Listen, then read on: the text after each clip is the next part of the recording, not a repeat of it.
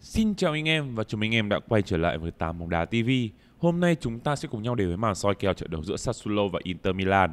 Trận đấu diễn ra trong khuôn khổ vòng thứ 9 Serie A vào lúc 20 giờ thứ bảy ngày 8 tháng 10 trên sân vận động Mapei của Sassuolo. Kết quả đối đầu giữa Sassuolo và Inter trong quãng thời gian gần đây là tương đối cân bằng. Cụ thể trong 5 trận đấu gần nhất, mỗi đội có cho mình hai chiến thắng và một trận hòa. Ở lần chạm mặt trước đó, Sassuolo đã có chiến thắng 2-0 ngay trên thánh địa Giuseppe Meazza của Inter. Đáng chú ý, kết quả của 4 trên 5 trận đấu này đều nổ tài. Sassuolo hiện đang có một phong độ ổn định và không quá tệ so với lực lượng họ có trong tay. Sau 8 trận đã đấu, đội bóng áo sọc xanh đen đã có được 3 chiến thắng, 3 trận hòa và chỉ thua 2. Hiện đội chủ sân Mapei đã ghi được tổng 10 bàn thắng sau 8 trận, một kết quả không quá tồi với một đội bóng tầm trung tại Serie A. Hàng thủ của Sassuolo cũng hoạt động tương đối ổn định khi chỉ nhận phải 8 bàn thua, chịu trung bình một bàn mỗi trận. Đặc biệt ở trận đấu gần đây nhất, Sassuolo đã có cho mình trận đại thắng với tỷ số 5-0 trước Salernitana tại đấu trường quốc nội. Theo nhà cái châu Á, đội chủ sân Mapei đã thắng 3 trong 5 kèo đấu gần nhất và trong 5 trận đấu này với hai kèo nổ xỉu và 3 kết quả nổ tài.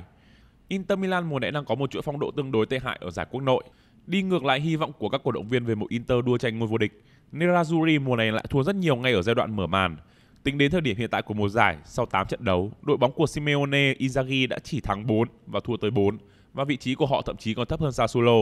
Với chỉ 12 điểm ghi được sau 8 vòng, Inter đang chấp nhận vị trí thứ 9 tại Serie A, dưới một bậc so với Sassuolo.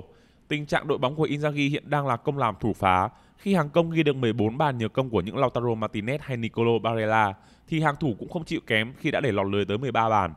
Chỉ ngay tuần trước thôi, họ vừa mới để thua AS Roma ngay trên sân nhà với tỷ số 2-1. Tuy nhiên, trước khi đụng độ Sassuolo cuối tuần này, Inter đã có cho mình một liều thuốc tinh thần khi chiến thắng 1-0 trước Barcelona ở đấu trường châu lục, chắc chắn sẽ kéo tinh thần của đội khách đi lên rất nhiều.